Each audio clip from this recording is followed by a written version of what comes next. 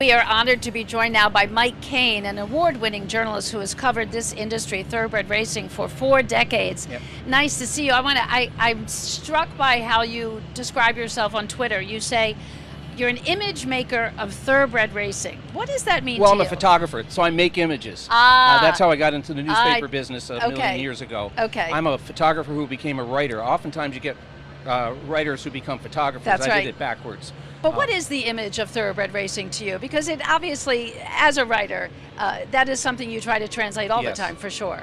It, it's breathtaking, uh, Yeah. interesting uh, sport. That's the that's what I enjoy the most about any kind of sport is the drama that's involved. Mm. We go to the plays, we go to movies, we kind of know what's going to happen. We come over here to the, to this place, we don't know what's going to happen, and we've seen many crazy things unfold uh, on, on sporting fields of America. And one thing we haven't seen since 2018 is the Kentucky Derby winner come to Baltimore and carry Triple Crown hopes Yeah. to the Belmont. Justify the last to do it. I find it interesting in the storyline that this year Justify's grandson, Just Steel, could spoil those hopes. And that, wouldn't that be something? And, but that's that's the way thoroughbred racing goes. The great horses uh, bring on other great horses. Now, so far, Just Steel hasn't measured up to the, anywhere near the caliber of, uh, of Justify, but he, you know he definitely has the bloodlines to turn in a big performance in a race like this. Mystic Dan, of course, the winner Yep. two weeks ago in Louisville, Kentucky at Churchill Downs, has run on an off track, has won on mud. Do you see anybody in this field that could, all things being equal, stop Mystic Dan? Now, I'm talking no flukes, no no no strange things happening. Straight race, no bumping. Can anybody beat Mystic Yes, Dan? sure. Catching Freedom can beat uh, Mystic Dan. Uh, Uncle Heavy, the Pennsylvania bred, he might be able to beat him. He's going to love being on this track.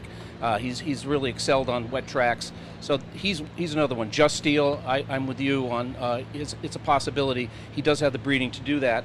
Uh, Tuscan Gold is going to get a lot of attention. Chad Brown has won this race two times in the last what five years with horses just making their fourth start. Right. So Chad Brown is a great trainer, and don't be surprised if he gets his horse here first. You've spent a lot of time over the years covering this industry. Mm-hmm. What has been the most exciting vantage point for you and one of the most exciting storylines to cover? Oh, American Pharoah winning the Triple Crown. I was with my belly on the rail at the finish line at Belmont Park, and it was amazing. I've been to a lot of sporting events in my life, but the, the sound Mm. Oh, and the, wow. the, the noise just kept growing and growing as the horse came down the stretch. Amazing. Mm, fantastic. Well, we'll see if we get some of that noise today here, the second leg of the Triple Crown. We appreciate the visit. You're welcome. Appreciate the insights as well, and we'll be interested to see where the storyline goes from today. Thank you, Mike Okay. Kane. Thank-